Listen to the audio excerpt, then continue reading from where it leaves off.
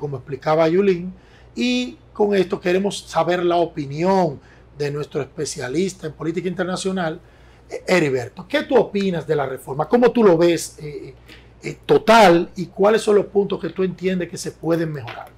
Culturalmente, eh, compañero, yo he visto mucho recelo en tema de, de modificación de constitución en la República Dominicana independientemente de que el motivo de la reforma sea a favor de la población y de la mayoría.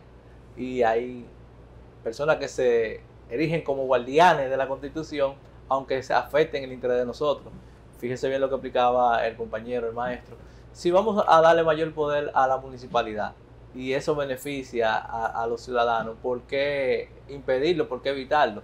Si no se está buscando un interés particular para beneficiar a un candidato X o una posible eh, posición política favorable eh, a un solo elemento. Pero si se va a, mejorar la mayoría, los intereses de la mayoría, como por ejemplo que ya se va a instruir lo que por vía jurídica y resguardado por la constitución un procurador independiente, como existe en otros países, no debería haber un resentimiento ni un recelo, ni un resguardo más allá del propio interés del pueblo, que es lo que yo siempre he visto en la República Dominicana si no me conviene favorablemente y no hay un, acuerdo previo para que todos eh, salgamos beneficiados como políticos, no como ciudadanos, no, no debería existir ese recelo. Y que las cosas que son en favor del pueblo siempre deberían ir modificándose, porque hoy la sociedad dominicana no es la misma del 2010, ni la del 1990, ni la del 1961, cuando tuvimos otro tipo de modificaciones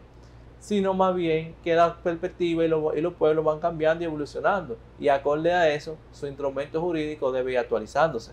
Eso es simplemente eh, eh, un pataleo político, por decirlo así, cuando no se beneficia el interés de, un partido u otro. Exacto. Eh, incluso la calidad moral, Yulín, que tú hacías referencia. Aquí, si usted la ha modificado dos veces y una fue para habilitar a alguien y otro para reelegirse, Usted no tiene esa calidad moral. Aquí es importante que se diga algo y cójame en corto, venga, que yo quiero que me vean bien. Sí, ah, cójame en corto. No, no. cuidado, eso es peligroso, no usted No, eso no es ningún peligro. Estoy esperando el corto aquí para hmm. decir algo. Miren, hmm. pueblo dominicano, los que no tienen calidad moral para estar en contra de que se reforme la constitución porque ellos la modificaron para su propio beneficio. Lo que le están diciendo al pueblo es lo siguiente, y esto hay que dejarlo bien claro en el universo mental de la teleaudiencia. Yo me opongo a que se reforme la constitución porque yo me opongo a que aquí haya un ministerio público independiente que luche contra la corrupción y porque yo quiero que en la República Dominicana siga habiendo espacio a la impunidad. Eso es lo que están diciendo Danilo Medina, Leonel Fernández y Miguel Vargas. Incluso, y no lo habíamos tocado, si en otros días, el tema de que hay que mejorar la parte del principio de retroactividad de la ley. No es eliminarlo, ¿eh? porque eso tiene unas repercusiones ¿verdad? que pudieran dar al traste con, con abusos pero el principio de por sí ya eh, incluye una excepción, casos excepcionales, solamente a favor de un acusado o a quien se aplicaría la ley. Nosotros hemos abogado aquí en las redes de que este principio hay que establecerle mediante párrafos la incluir dentro de esos casos excepcionales la corrupción, esa corrupción administrativa, de esos procesos que no periman porque ustedes saben que hay procesos de 10, 20 años, incluso algunos de 5 años, donde perime. Donde perime. Fíjense el caso de, Víctor Rúa. Fue condenado y no hizo un día de cárcel eh, posterior a la condena porque ya él había estado en prisión preventiva durante todo el proceso eh, y la pena que le tocaba ya era menor. Entonces nosotros tenemos que eh, poner más fuerte las sanciones. Incluso Jenny Berenice hablaba de las sanciones de robo. Eh, hay que ponerla fuertísima, más la de corrupción, como están en otros países que estaban como nosotros y dieron ese salto cualitativo exponencial en cuanto al combate de la corrupción, poniendo sanciones extremas a la corrupción. Y que entonces con esta, eh, vamos a decir, este reforzamiento o eh, aumentar el alcance del principio de retroactividad, poniendo que los casos excepcionales incluyan casos de corrupción, nosotros podemos dar con casos que tienen más de 10 años, porque 10 años es el 2012, señores, 10 años ahorita. No, pero, pero, si, si le pusiéramos eh, hasta 20 años, nosotros pudiéramos alargar ese brazo. Y porque ya dicen juristas, que nosotros no somos juristas, ¿eh? pero eh, leemos lo que dicen. Dicen que bajo el principio de retroactividad, que se le aplique incluso a la misma constitución, la ley de extinción del dominio, de dominio solamente podrá ser aplicada a partir de hoy, desde cuando se promulgue en adelante. Lamentablemente la gente está contando o se está vendiendo la idea de que la ley de extinción de dominio va a ayudar a recuperar lo robado del pasado. Entonces ahí hay que tener claro, sin esto, sin ese caso excepcional, no se va a poder, no se va a poder, ya los juristas lo saben, los juristas lo saben, y será un como un borrón y cuenta nueva, o sea, a partir de la promulgación, entonces sí se va a aplicar la ley de intención de dominio como nos la están vendiendo. Bueno, eso es por un lado.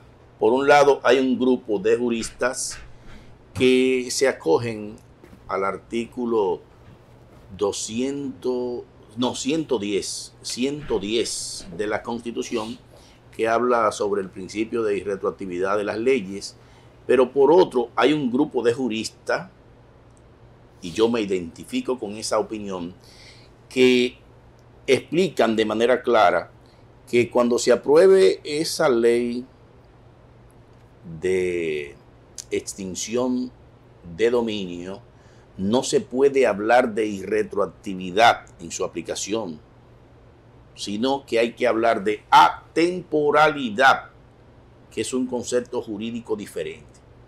Y ellos dicen simple y sencillamente lo siguiente. Si esa ley de extinción de dominio no se puede aplicar a las personas que sustrajeron fraudulentamente el erario, entonces sería contraproducente. ¿Por qué? Porque se está legalizando algo con esa ley que no hay ninguna normativa que lo haya legalizado antes.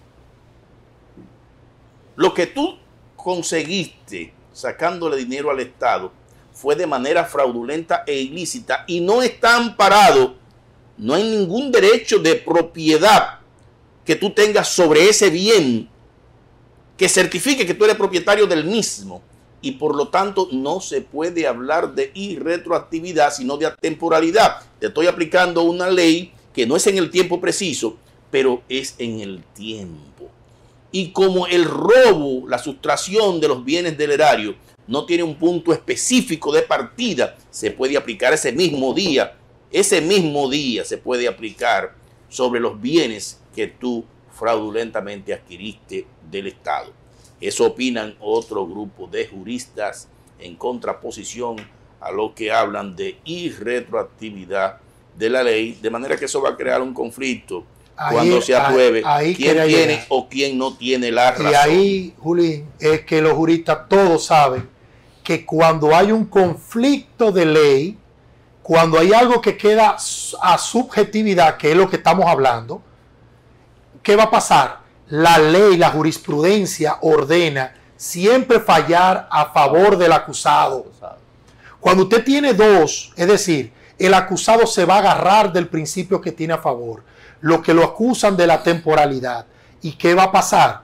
Que ante la jurisprudencia, y por eso hay que hablar con juristas, pero hay que hablar con amigos jueces, y eh, no quiero ser indiscreto, eh, si tengo amigos, y que me han dicho, lo que pasaría es que ante la jurisprudencia y ante haber un choque, la jurisprudencia tiene que fallar siempre del que tiene menos poder. En este caso es el acusado, no es el Estado. Pero ¿qué Entonces, La pregunta mía que yo hago, ¿por qué no se puede incluir? Si sabemos que es la pata medio floja, que hay duda, ¿por qué no arreglarlo en la Constitución y decir... Que eso está arreglado. No, no, no, no. Yo, yo pensé eso y el principio dice casos excepcionales. No, no, pero no solamente, solamente a favor. artículo, el artículo 146 de la Constitución.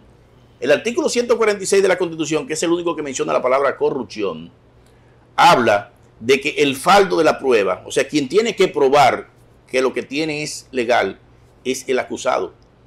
Es el único caso en la República Dominicana que se invierte el faldo de la prueba, o sea, Normalmente en la República Dominicana existe una presunción de inocencia. En el caso de funcionarios El Estado tiene que demostrarme a mí, o sea, tiene que derribar esa presunción de inocencia. El artículo 146 establece de manera clara, puntual, precisa, que quien tiene que demostrar cómo consiguió ese teléfono tan caro es el acusado que fue funcionario. Entonces ahí hay un conflicto. La ley de extinción de dominio va más allá de los funcionarios, Julín. Y con relación, permítame hacerte Va a incluir a los civiles, va a incluir a los civiles que andan a, la, los y esa La República Dominicana no prescribe la corrupción. Nosotros somos signatarios de un acuerdo internacional que habla de la no prescripción de la corrupción y los tratados internacionales tienen la misma fuerza que la Constitución y con relación a Díaz Rúa, Díaz Rúa está condenado Díaz Rúa está condenado a cinco años. Ahora, ¿qué pasa? Díaz Rúa apeló esa sentencia, está en apelación, no hay una sentencia que haya que tenga la autoridad de la cosa irrevocablemente juzgada y por lo tanto Díaz Rúa, como sobre él existe una presunción de inocencia hasta que se demuestre lo contrario, puede hacer con su vida lo que le dé su gana. Pero Díaz Rúa está condenado a cinco años en este país, aunque ustedes lo vean andando ya. ¿Y cuántos años pasó en la cárcel? No, no pasó meses. No, meses no, desde, desde, el momento que a ti te arrestan y te hacen prisión preventiva. Meses, meses, No, meses no va a ser. Meses. Eh, porque fue antes, antes de la pandemia, Olin. O sea, ya él estaba en el proceso de Odebrecht. Perfecto. Estaba desde antes y todo eso se cuenta. No, sí, sí, en la calle no. Bueno, no, no, en la calle no, en el momento que a ti te aplican prisión preventiva. Prisión preventiva, aunque te den la condicional luego de prisión preventiva y por eso le, le, digno a que usted eh, investigue, todo eso se cuenta y se rebaja en la pena. Eso está ahí, inclusive usted puede buscar ahora mismo una información y todo eso se cuenta. Es decir, que si acaso le falta un año, eso es lo que él va a cumplir. Todo lo que esté en preventivo se descuenta de la pena cuando te la aplican. Eso es una normativa de ley, está ahí. Eso no, no, lo estamos inventando nosotros. entendiendo. Le voy a preguntar para ponerlo más claro. En lo que usted sigue, lo vamos a buscar aquí en el aire. Díaz Rúa. Siga. Lo privan de su libertad. Está, entiendo yo, unos 6, 7 meses privado de libertad. Díaz Rúa. Privado de libertad, o sea, encerrado. Posteriormente le entregan a Díaz Rúa no libertad condicional, libertad provisional bajo fianza. Díaz Rúa está en la calle y se está conociendo su caso con Díaz Rúa en la calle porque se entiende que Díaz Rúa no representa un peligro de fuga. Por esa razón le, da, le dan la libertad provisional a Díaz Rúa. Díaz Rúa posteriormente es condenado, Díaz Rúa apela. Usted dice que todo el tiempo, desde el día en que Díaz Rúa fue privado de libertad hasta el día que le dieron la libertad provisional bajo fianza, más el tiempo que tiene en la calle, se le computa a Díaz Rúa para fines de reducírselo a la pena de los cinco años. ¿Eso es lo que usted dice? Eh, toda la prisión preventiva se reduce. Toda. Toda prisión preventiva se te reduce. De sí, pero prisión preventiva. Y él no está en prisión preventiva ahora mismo. Bueno, ahora mismo no, pero déjame, un segundo. Él tuvo seis, ocho meses. Ya estará, estará al aire. Nosotros lo buscaremos y lo tiraremos. Mañana, mañana, sí. No, mañana dejamos algo ahí para que ustedes vean. Mañana es martes. Eh, pero seguimos de entender de que hay que afinar porque no quisiéramos como que se nos quede coja porque queremos recuperar lo robado. Y como queremos recuperar lo robado, queremos también recuperar de ustedes su atención durante todo el día. Así que por este día terminamos. Heriberto, si quieres decir algunas palabras para despedirnos. Recuerden mantener la sintonía, que seguimos con las imágenes de Ucrania durante todo el día, ¿eh, señores, en vivo desde las principales ciudades de Ucrania. Heriberto. Muchas gracias, Joel. Muchas gracias, maestro. Gracias, Global TV. Y por favor, si quieren seguir leyéndola en tus noticias internacionales, lo pueden hacer a través de análisisglobal.com. Mañana con ustedes, señores. Pasen feliz resto del día.